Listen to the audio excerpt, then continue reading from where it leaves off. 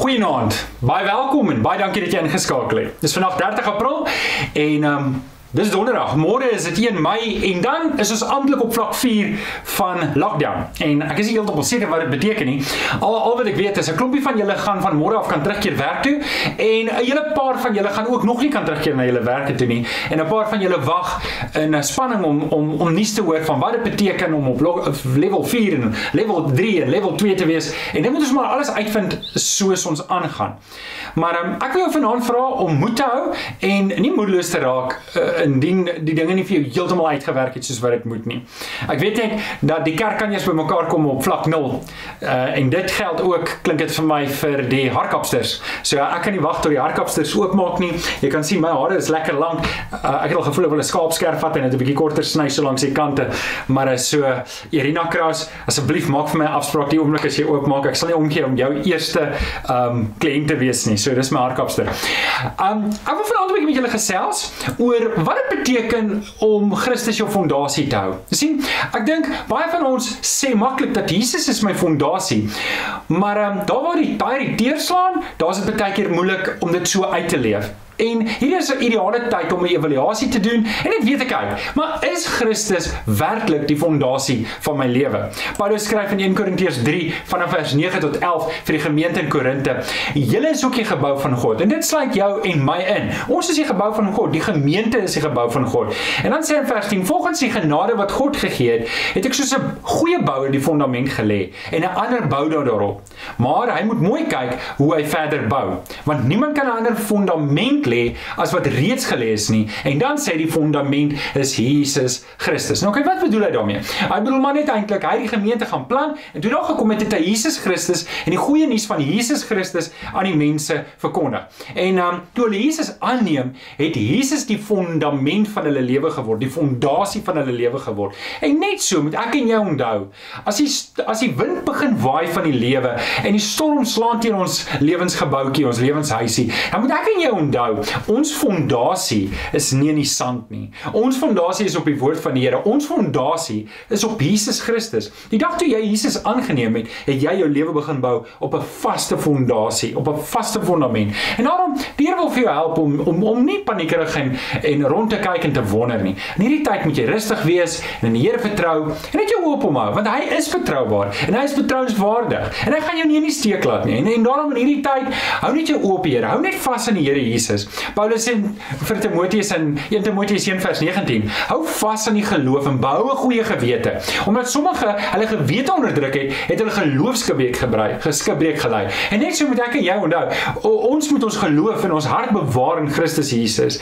Jesus is jou fondasie. Jy kan sterk staan. In hierdie tyd kan jy breë bors, breë skouers regop staan en sê, "Wag 'n bietjie, wag 'n bietjie. Lewe staan jy 'n bietjie aan die ander kant. My geloof en my vertroue is in Jesus Christus." En as die Heilige Gees wat vir my krag gee om deur hierdie lewe te kom. My vertroue is nie in hierdie dinge van die wêreld nie. My vertroue is in Jesus Christus. En um, ek sou graag wou gehad het jy moet amen sê. Ek sou graag wou gehad het jy moet amen sê dat die dak bewe. Ehm um, ek wil afsluit met 'n getuienis. Resta Kuglenberg gaan haar getuienis vir ons gee. Sy is op hierdie oomblik siek. Sy is 'n suster by 'n hospitaal en sy het die koronavirus um opgetel. En moenie worry nie, jy kan nie die koronavirus oor 'n videokamera kry nie. Wel, nie sover ons weet nie. En um sy sy het ingestem om haar getuienis uit haar bed uit vir ons te gee. En sy voel al klaar beter en ek hou gereeld kontak met haar en um ek wil net haar getuienis met jou ook deel om jou te bemoedig en aan te moedig dat jy kan sien, hoorie, hier's mense wat wat se getuienis nog nie klaar is nie. Hulle is nog besig om die getuienis te skryf. En mag jy bemoedig word daai. Uh voordat ek met gebed afsluit, wil ek dalk net um jou herinner. Maandag is Vasdag en ek sal graag wil hê jy moet saam met my vas daai dag, saam met my en Tanya en my gesin. So um, baie van julle het al reeds my SMS'e en WhatsApp gestuur en e-posse om te sê julle vas en bid saam Maandag. Ek is bly. Kyk die ander video's wat gaan oor vas, hoe om te vas en waarom ons vas en ek wil jou nooi, neem deel. Neem deel daaraan. En um en uh, dit sal lekker wees dat jy as jy as jy op hierdie manier deelneem. Laat my weet as jy deelneem asseblief.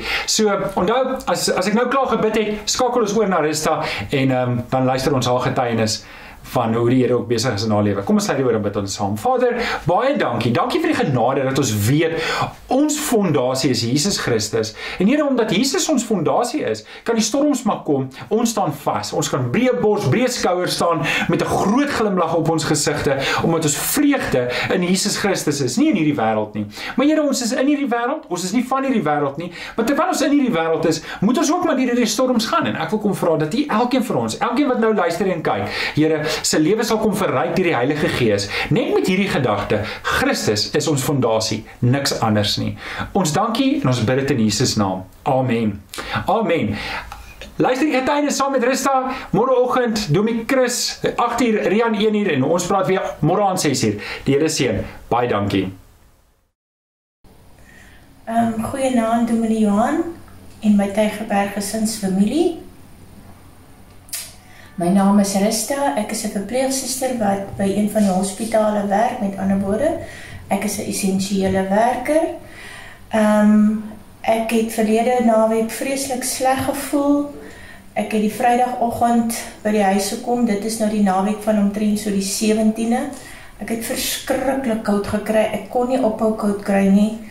Ehm um, ek het ehm um, hoofpynne gehad, erg hoofpynne, erg ehm um, lyfseer gehad en my kop het koors, my oë het koorsig gevoel alhoewel ek nie regtig ek het 'n koors gehad van op daai stadium van so 37.5.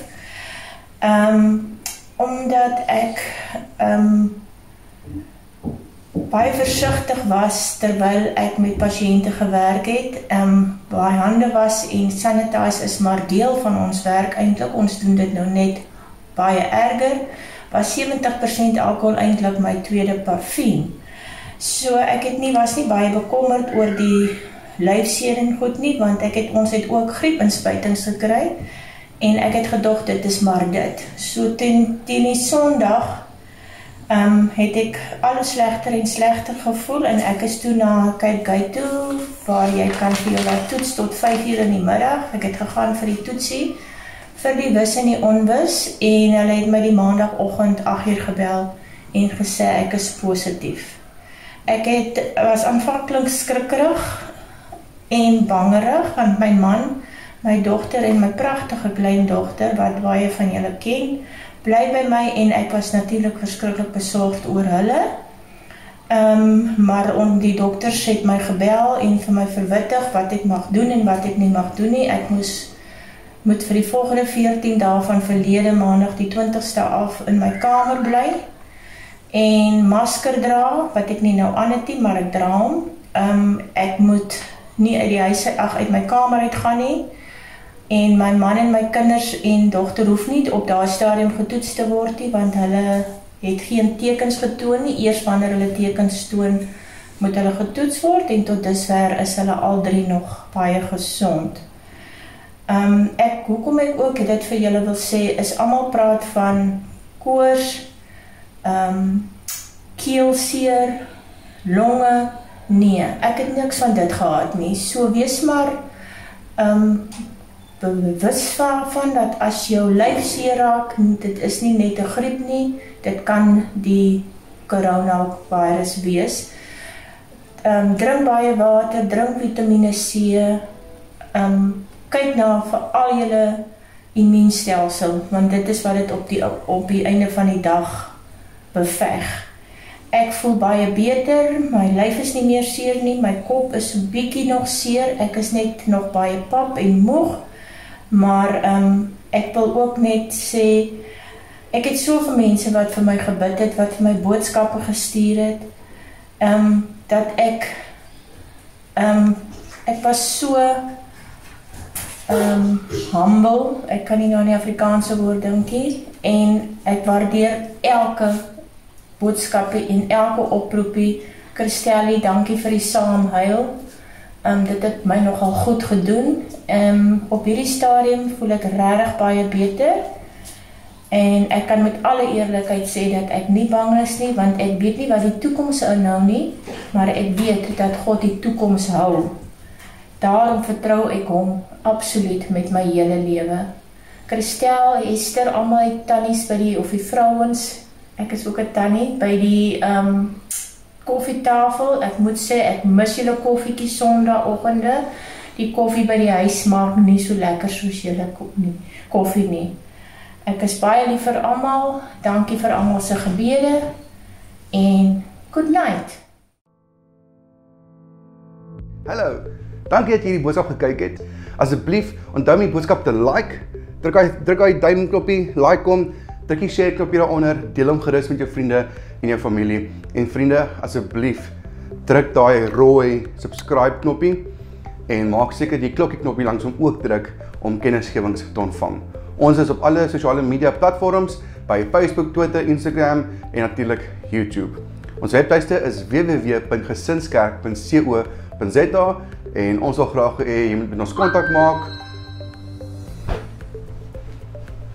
Met ons kontak maak. So, Here seën en totsiens. O ja, maak kontak by info@gesinskerk.co.za of skakel die kerkkantoor by 087 255 827. Bye.